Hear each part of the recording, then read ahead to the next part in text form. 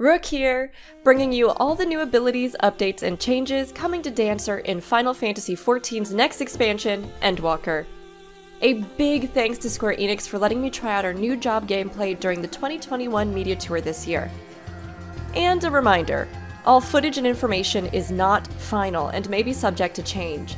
This is especially true for jobs, which are additionally affected by the downscaling of the game's numerical values, so don't panic.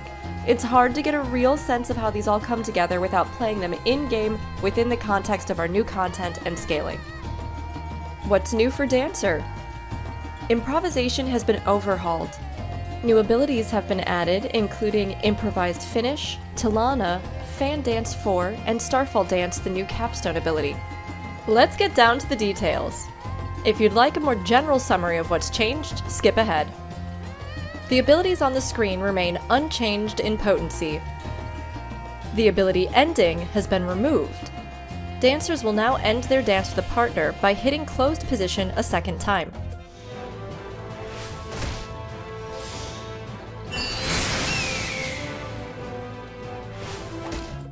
Cascade's potency has been reduced, going from 250 down to 180, a 28% nerf. Its additional effect, 50% chance of granting Flourishing Cascade, has been renamed from Flourishing Cascade to Flourishing Symmetry, and the duration has been extended, going from 20 seconds to 30 seconds. Fountain's damage has been taken down from 300 to 240, a 20% decrease. Its combo bonus, 50% chance of granting Flourishing Fountain, has also been renamed, going from Flourishing Fountain to Flourishing Flow, and extending the duration from 20 seconds up to 30 seconds. Windmill's potency has been reduced from 150 to 100, a 33% nerf.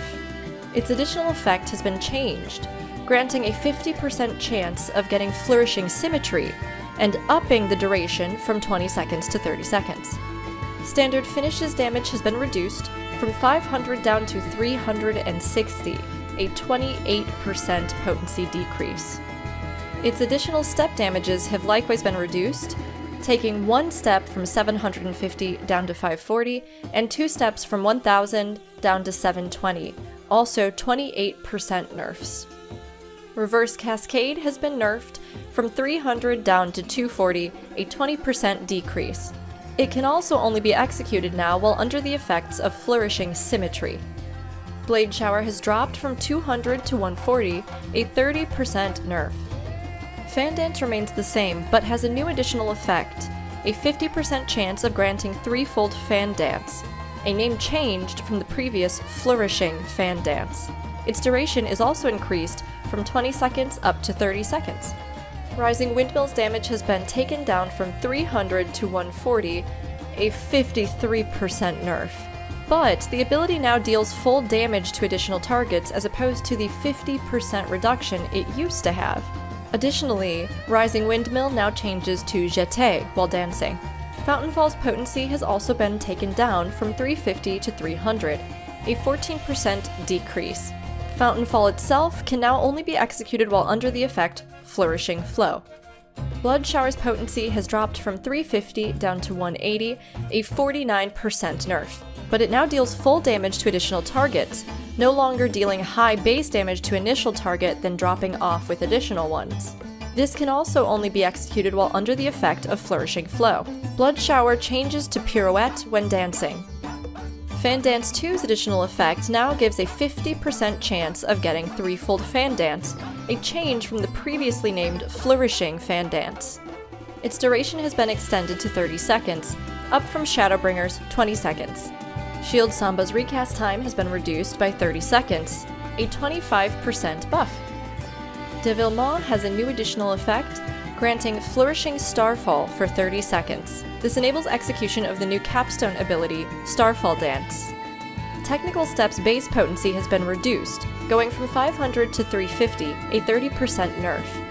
Its additional step potencies have been reduced by 28%, taking the maximum 4-step damage down from 1500 to 1080. As of level 82, this action will change to Tillana upon execution. Flourish's description has been adjusted, now granting you the effects of Flourishing Symmetry, Flourishing Flow, Threefold Fan Dance, and Fourfold Fan Dance. The weapon skill Saber Dance has been reduced, being taken down from 600 potency to 480, a 20% nerf. Improvisation has been overhauled into a support skill. Dance to the beat of your own drum, granting rising rhythm to self. Stacks increase every 3 seconds up to a maximum of 4, with an additional effect, healing over time for self and nearby party members, with a cure potency of 100 and a duration of 15 seconds. This effect ends upon using another action or moving, including facing a different direction. This cancels auto attack upon execution. While improvisation is active, the icon will switch to the new ability Improvised Finish. When hit a second time, Improvised Finish will create a barrier around self and all nearby party members. Damage absorbed increases with stacks of Rising Rhythm. Zero stacks gives 5% of max HP, 1 stack, 6%, 2 stacks, 7%, 3 stacks, 8%, and 4 stacks, 10%, with a duration of 30 seconds. This can only be executed while improvisation is active. Tillana is a new ability that takes over the icon of Technical Step upon its completion. This delivers an attack to all nearby enemies with a potency of 360 for the first enemy and 50% less for all remaining enemies.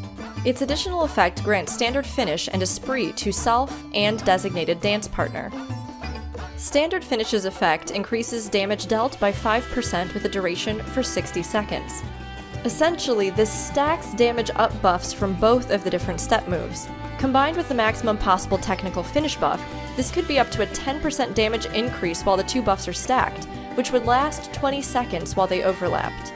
Fan Dance 4 is an additional fan dance that delivers an attack to all enemies in a cone before you with a potency of 300 for the first enemy and 50% less for all remaining enemies. This can only be executed while under the effect of fourfold fan dance. And finally, the new capstone ability, Starfall Dance. This delivers a critical direct hit to all enemies in a straight line before you, with a potency of 600 for the first enemy and 75% less for all remaining enemies. This can only be executed while under the effect of Flourishing Starfall, which comes from using Devilment.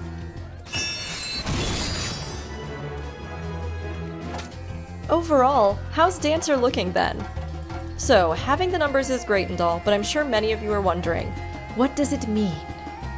A great deal of Dancer's abilities and procs were given new names, such as changing the effect called Flourishing Fountain to Flourishing Flow, this change has allowed these procs to be more generally grouped together.